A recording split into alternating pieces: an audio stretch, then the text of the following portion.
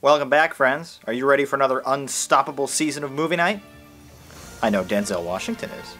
This is Movie Night.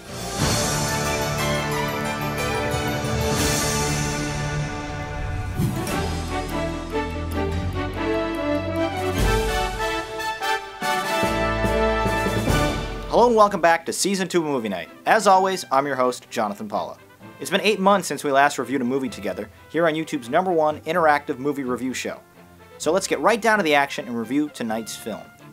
Last November, on the very first episode of Movie Night, we discussed a Tony Scott action thriller starring Denzel Washington that primarily took place on a train. Tonight, we'll be reviewing a Tony Scott action thriller starring Denzel Washington that primarily takes place on a train.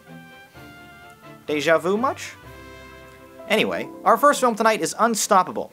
It's the most recent film from the Scott Washington pairing, released nationwide on November 12th. Denzel stars opposite up and coming Hollywood heartthrob Chris Pine, both of whom play railroad workers in Pennsylvania.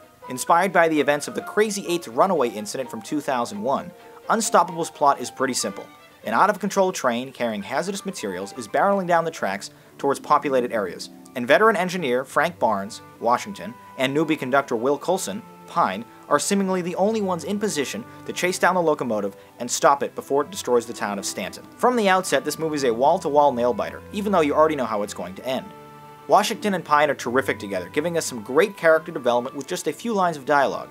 Rosario Dawson, Kevin Dunn, and Ethan Suplee round out the supporting cast with some believable, if unmemorable, performances.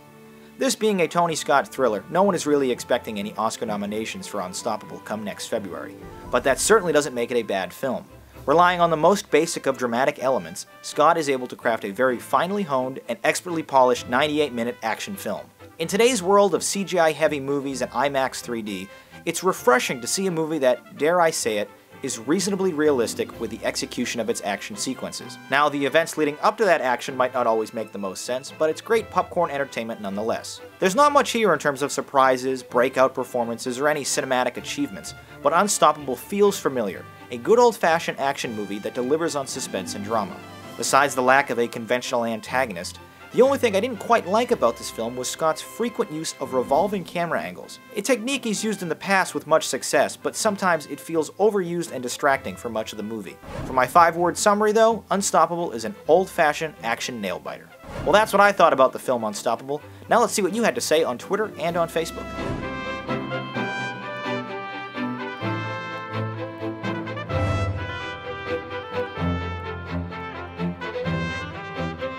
Alright, now time to bring in the Rate-O-Matic, redesigned in beautiful high definition, to help score Unstoppable.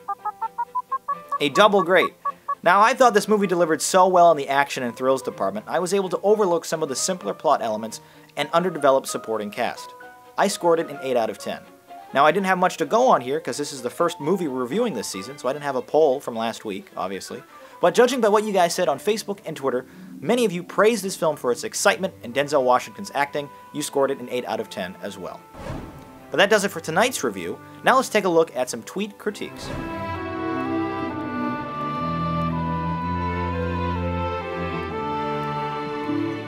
As always, if you're going to the movies this weekend, make sure to tweet your review with the JPMN hashtag to have it featured on an upcoming episode of Movie Night.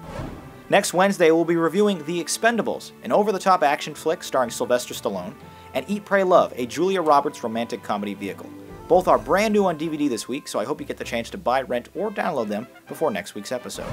Until then, please let me know what you think about these two films in the comments down below. Well, that does it for tonight's season premiere of Movie Night. Thank you so much for watching, and I hope to see you right back here next Wednesday.